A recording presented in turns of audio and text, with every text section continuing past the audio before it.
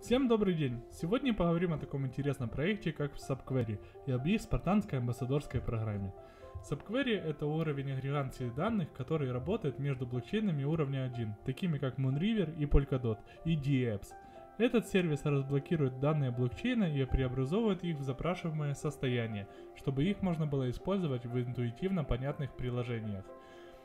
Это позволяет разработчикам GApps сосредоточиться на своем основном сценарии использования и внешнем интерфейсе, не тратя время на создание пользовательского бэкэнда для обработки данных.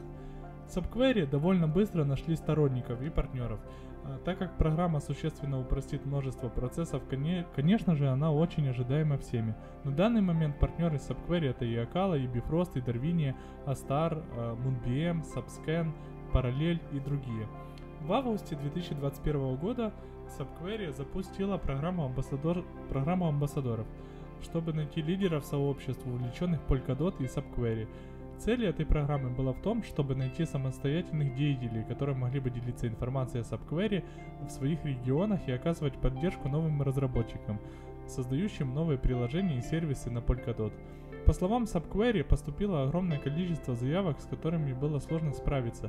И вот они э, придумали новую программу, которая называется Спартанской. Спартанская программа отличается от первоначальной амбассадорской тем, что, на... что не нужно заполнять анкет, как в первом варианте, только минимальное количество информации о себе. Спартанская программа полностью существует в сообществе Subquery, Discord, где начинающие послы могут выполнять ежемесячные задания и участвовать в конкурсах, чтобы заработать тег Спартан. Спартанцы, которые затем поднимутся на вершину своего класса, будут рекомендованы существующими амбассадорами в команду Subquery для пополнения их рядов. Помимо возможности стать амбассадором, участники Discord со спартанской ролью э, получат особые привилегии и права в сообществе Subquery. На данный момент по программе Subquery пройдено три события спартанской программы, которые можно было выполнить и получить должность спартанца а также принести пользу проекту.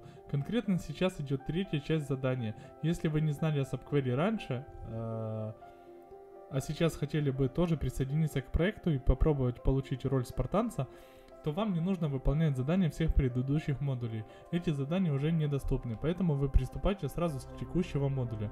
Итак, давайте подробно о том, что за задания нужно выполнять в модулях. Uh, иногда они четкие, иногда наоборот вам предоставляется абсолютный простор для фантазии.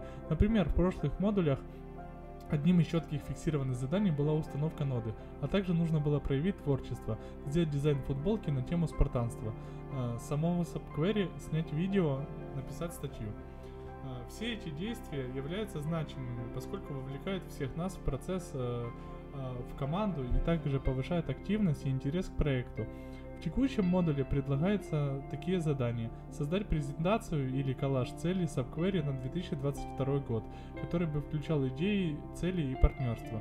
Все, что вы хотели бы видеть для Subquery. Создать видео с презентацией Subquery.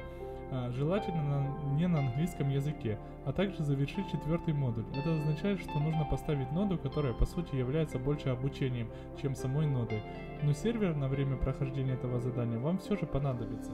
На всякий случай, давайте поговорим, а, что такое ноды. Нода это любой компьютер, подключенный к блокчейн-сети. Ноды децентрализованной сети контактируют посредством P2P протоколов для обмена информацией о блоках и транзакциях. Нода, в зависимости от ее типа, хранит только часть или все данные блокчейна. Если у вас стоит система Ubuntu, то сервер для ноды покупать не нужно. Если же нет, то на один день выполнения заданий придется арендовать сервер. Но и содержать ее после выполнения заданий не нужно. То есть вы просто ее тестируете и обучаетесь. Сервер для заданий можно взять, например, на сайте Contabo. Стоимость ее будет около 5 евро в месяц. И также установить программу MobaXterm, которая будет являться терминалом для разных серверов. И таким образом все будет в одном месте. Также рекомендую воспользоваться гайдом от Tony Note. Э, все ссылки будут в описании. Как мы можем видеть, задания несложные, даже интересные, не затрачивают много времени и сил, и даже дает возможность проявить свои, свой творческий потенциал. Да и в целом приятно, когда ты и сам являешься частью проектов, которые вследствие изменят наше будущее и улучшат его. Также немаловажным фактором и стимулятором для того, чтобы все все-таки принимать участие в амбассадорских программах, это Вознаграждение. Обычно разработчики ничего не обещают в качестве вознаграждения, и оно может быть, а может и не, не быть.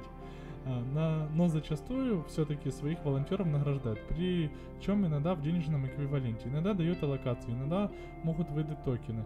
Бывает, что дарят что-то из их сувенирной продукции. В любом случае, мы от этого ничего не теряем, а лишь приобретаем новые знания и опыт. Всем советую участвовать, быть активными, любознательными, не бояться учиться, спрашивать, участвовать в жизни проектов, которые вам нравятся. Всю информацию вы можете посмотреть на сайте Subquery и в их официальном дискорде. Их ссылки прикреплены в описании. А вам желаю продуктивности и легкости выполнения заданий. Удачи, пока!